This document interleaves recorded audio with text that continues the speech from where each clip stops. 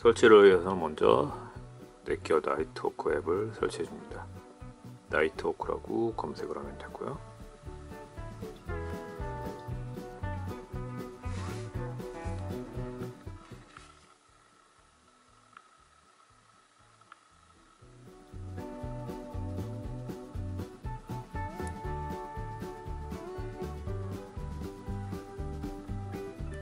계정을 만들거나 로그인을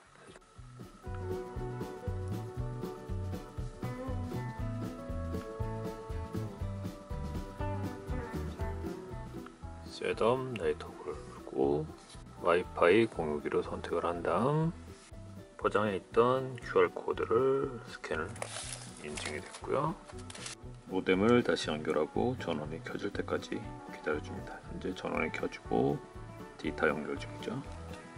노란 원포트에는 모뎀과 연결해 주고요. 나머지 검은 부분 중에 하나를 유선 PC와 연결을 해줍니다. 그리고 어댑터를 연결하고 전원을 켜주고요.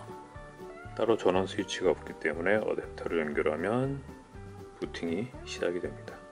주황색 LED가 들어오면서 부팅이 시작되고 있죠. PC에 네트워크를 연결했다고 알림이 뜨고요. L을 눌러 연결을 해줍니다. 이거 연결료가 되고 본지에서 녹색 LED들이 들어오는 걸 볼 수 있습니다. 이제 불이 모두 들어왔으니 다음을 눌러 진행을 하고요. 연결을 이미 했기 때문에 이 부분은 넘어가면 이제 기다려주면 됩니다. 이제 와이파이 연결로 들어가서 넷기어 암호를 입력을 해줍니다. 연결이 완료됐고 다시 뒤로 가서 설정으로 들어가 와이파이 연결했다고 누르면 공유기가 감지가 되고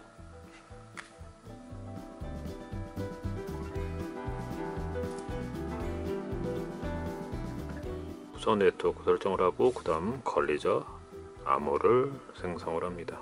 요구사항 세 가지를 충족을 해줘야 되고요. 지문 추가를 하고 싶으면 지문 추가를 보안 질문 설정 두 가지를 해줘야 하고요. 그러면 마무리 연결을 해주고요. 새로운 펌웨어가 있으면 업데이트를 해줘야 합니다. 펌웨어 완료됐고요. 다시 연결을 시도합니다.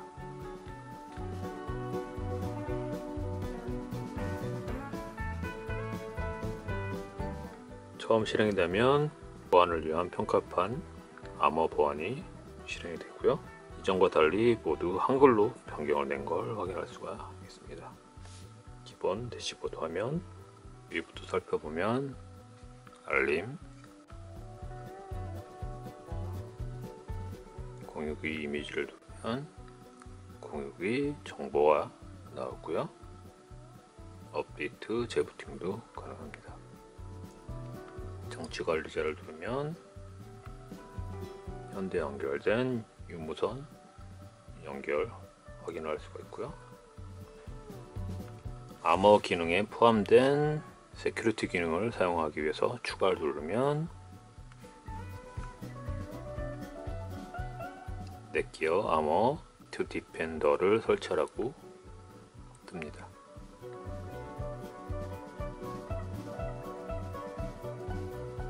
설치를 해주고요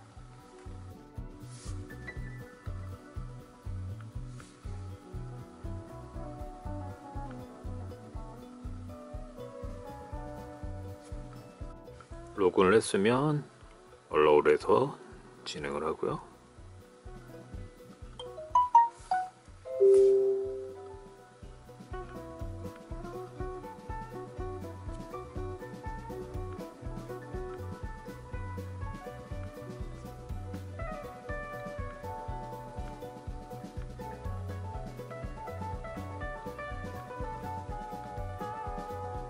지금 검사를 눌러 기기가 안전한지 확인을 해봅니다.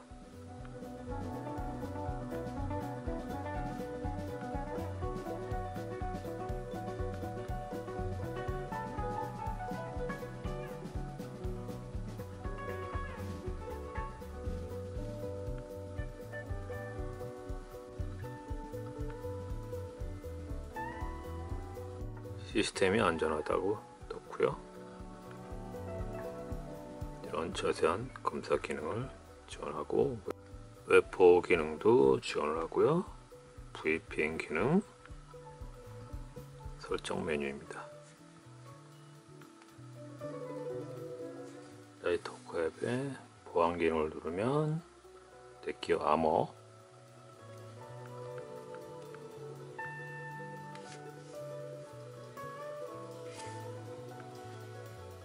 인터넷 속도 특정 기능을 지원하고요. 와이파이 분석 기능.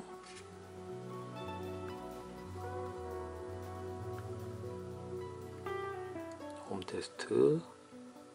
네트워크 상태. 채널 간섭 채널 그래프. 신호 그래프 기능을 지원합니다.